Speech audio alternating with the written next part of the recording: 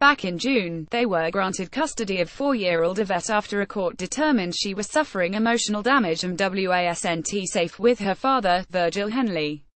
He apparently did not agree, because he took off with a little girl soon after. The Forresters filed a missing persons report on June 20 and did all they could to find and bring her home, but her return was made possible by the most random and unexpected person. While searching through Henley's friend list on Facebook, Gary came across 21-year-old Harry Brown from Surrey, England. He reached out to the young man in hopes that he could get in contact with Yvette's father.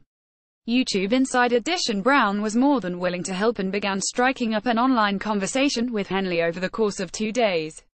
YouTube Inside Edition During that time, Brown was able to obtain Henley's exact location, which turned out to be a motel in Arizona, by offering to have pizza delivered to his room. YouTube Inside Edition